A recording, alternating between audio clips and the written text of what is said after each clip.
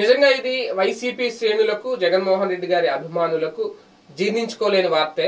ఎందుకంటే కాంగ్రెస్ పార్టీకి చెందిన మాజీ మంత్రి దిగ్విజయ్ సింగ్ కొన్ని సంచలన వ్యాఖ్యలు చేశారు.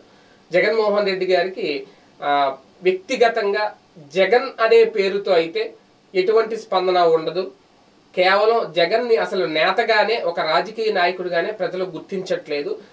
వైఎస్ఆర్ ఫోటో పెట్టుకునే తండ్రి పేరు చెప్పుకునే ఆయన రాజకీయాల్లోకి వచ్చారు. తండ్రి పేరు చెప్పుకునే ముఖ్యమంత్రి అయ్యారు అంటూ తాజాగా దిగ్విజయ్ సంచలన వ్యాఖ్యలు చేశారు. ఎందుకంటే మరి ఇప్పుడు ఇప్పుడు సడన్గా ఎందుకు ఆయన ఈ వ్యాఖ్యలు చేయాల్సి వచ్చింది? వాస్తవానికి దిగ్విజయ్ సింగ్ అంటే సోనియా గాంధీకి ఉన్న వీర విధేయుల్లో వీర విధేయ నేతల్లో ఆయన ఒకరు.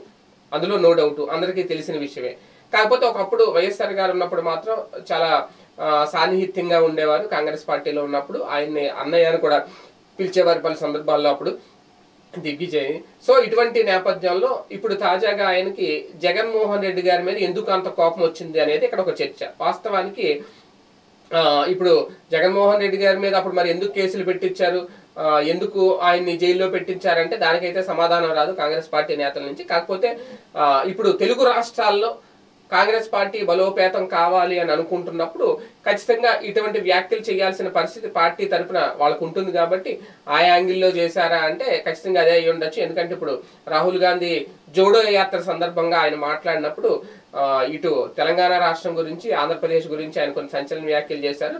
ఓకే తెలంగాణ గురించి అంటే అప్పట్లో మరి పార్టీని విలీనం చేస్తానన్నారు టిఆర్ఎస్ని కాంగ్రెస్లో అనేది. ఓకే అది ఆయన ఎందుకు యూటర్న్ తీసుకున్నా మరి ఏంటని. ఇప్పటికి కాంగ్రెస్ పార్టీ తరపునే ఆయన ఉన్నట్టుగా ఉంది కాబట్టి పరిస్థితి కేసీఆర్. కేసీఆర్ మావాడే అంటూ వాళ్ళు చెప్పుకోవడం. ఎందుకంటే బీజేపీకి వ్యతిరేకంగా ఆయన ఉన్నారు కాబట్టి. కానీ ఇక్కడ ఆంధ్రప్రదేశ్లో అలా లేదు కదా పరిస్థితి. బీజేపీకి వ్యతిరేకంగా లేరు. అలాగని కాంగ్రెస్ పార్టీ మీద వ్యతిరేకత ఉందని అందరికీ తెలుసు. కాకపోతే కాంగ్రెస్ పార్టీతో పోటీ పడే పరిస్థితి అయితే వైసీపీకి లేదు. ఎందుకంటే కాంగ్రెస్ పార్టీ శాంతం సున్నా ఇక్కడ జీరో. ఈ విభజన తర్వాత మొత్తం కాంగ్రెస్ పార్టీకి అసలు ఏమంటారు దాన్ని అడ్రస్ గల్లంత అయిపోయింది కంప్లీట్గా. ఇంకా డిపాజిట్లు ఇవన్నీ పక్కన పెడితే అసలు కాంగ్రెస్ పార్టీ ఏపీలో లేనట్టుగానే ఉంది పరిస్థితి. మరి ఇప్పుడు దాన్ని మళ్ళీ పుంజుకునేలా చేయడానికి జగన్మోహన్ రెడ్డి గారి మీద విమర్శల పర్వం స్టార్ట్ చేసిందా కాంగ్రెస్ పార్టీ? ముందుగా అందులో దిగ్విజయ్ సింగ్ తొలి అడుగు వేశారా అనేది. అది ఎంతవరకు సక్సెస్ అవుతుంది ఎంతవరకు స్వాగతిస్తారంటే ఓకే జగన్మోహన్ రెడ్డి గారు వైఎస్ రాజశేఖర రెడ్డి గారు ఫోటో పెట్టుకుని వెళ్తున్నారా? ఆ ఫోటో ఉంచాలా తీసేయాలి అనేది ఆయన ఇష్టం. ఇప్పుడు దిగ్విజయ్ సింగ్ చెప్పారని ఇంకొకరు చెప్పారని ఆయన ఫోటో తీశారు కదా. తండ్రి మీద అభిమానంతో రాజన్న పెట్టుగా ఆయన పెట్టుకున్నారు. తప్పే ఉంది. రాజన్న చేసి చూపించారు. రాజన్న బిడ్డ అంతకుమించి చేసి చూపిస్తానని కూడా అన్నారు ఆయన. అలాగే చేస్తున్నారు అనేది కూడా కొంతమంది నమ్ముతున్నారు. సంక్షేమ పథకాలు అందుకుంటున్న వాళ్ళు జగన్మోహన్ రెడ్డి గారు వచ్చిన తర్వాత ఆర్థికంగా బాగుపడిన వాళ్ళు ఖచ్చితంగా ఆ మాట చెప్తారు. ఇంకా వ్యతిరేకులు ప్రత్యర్థులు అయితే దాన్ని ఒప్పుకోరు.